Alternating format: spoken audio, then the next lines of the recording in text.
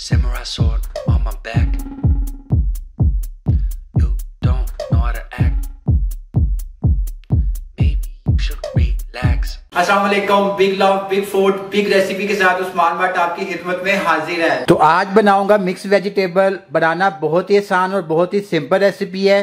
तो चलें रेसिपी शुरू करते हैं। मिक्स वेजिटेबल बनाने की तैयारी शुरू करते हैं। सबसे पहले ये पैन के अंदर मैं ऑयल शामिल करूँगा।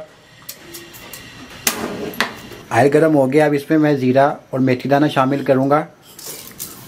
बड़ी इलायची एक और दो दालचीनी के टुकड़े, इनको शामिल करूँगा। तो अब इसको एक से दो मिनट तक मैं अच्छी तरह इसको भून लूँगा। तो अब इसमें प्याज शामिल करूँगा। प्याज को मैंने चॉप कर लिया था। तो प्याज हमारा छोटे हो गए। तो अब इस पर अदरक लहसुन का पेस्ट शामिल करूँगा।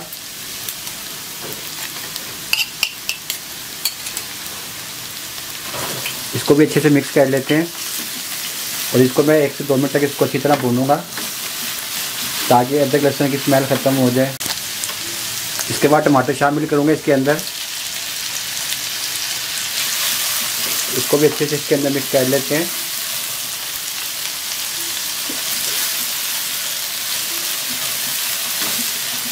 ये क्विक और इजी रेसिपी आपके साथ शेयर कर रहा हूँ आज मैं।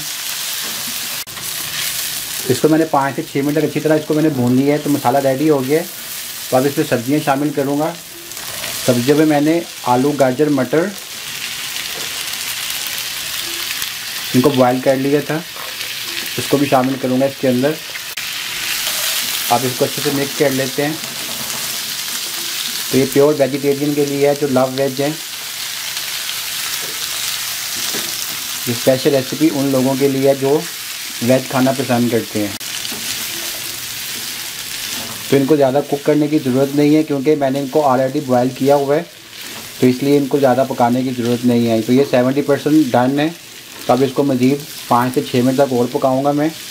तो उसके बाद इसमें मसाले शामिल करूँगा।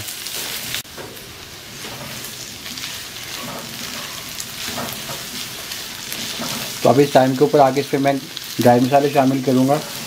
तो ड्राई मसालों में मेरे पास नमक है, दरा मिर्च है, कश्मीरी लाल मिर्च है, कुटा हुआ ज़ीरा, कुटा हुआ सूखा धनिया, गरम मसाला, काली मिर्च का पाउडर और हल्दी। इन सबको एक साथ शामिल करूँगा।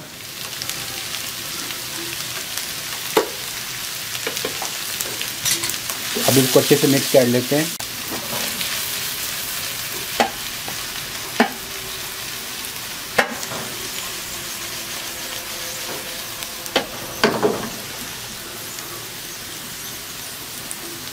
अब इस टाइम के ऊपर आके मैं इसमें बंद गोभी शामिल करूँगा।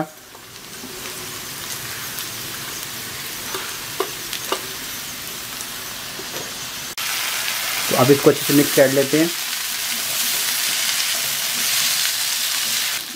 तो अब इस रेसिपी का सीक्रेट आ गया है। तो जिसका मुझे इंतज़ार था तो इसमें ये मैं कसूरी मेथी शामिल करूँगा। बड़ा ज़बरदस्त फ्लेवर आता है और बड़ा ज़बरदस्त इसमें जायका आएगा। तो इसको भी शामिल कर देते हैं इसके अंदर। तो इसको अच्छे से मैं मिक्स करूँगा इसके अंदर। सूखी मेथी के साथ जो बड़ा ज़बरदस्त खुशबू आ रही है, क्या बात है। तो अब इसमें मैं सब्ज़ धनिया शामिल करूँगा।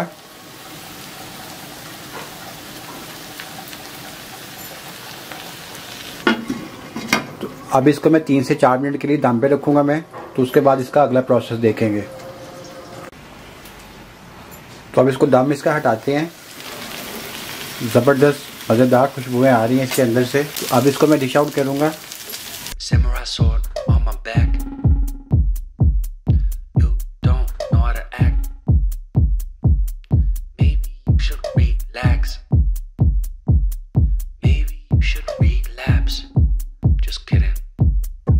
तो ये थी हमारी मिक्स वेजिटेबल की रेसिपी अगर आपको रेसिपी अच्छी लगी तो उसको लाइक करें खुश रहें या बात रहें दुआ में याद रखें। इसके साथ ही उस्मान बैठ को दे इजाज़त। अल्लाह हाफिज़।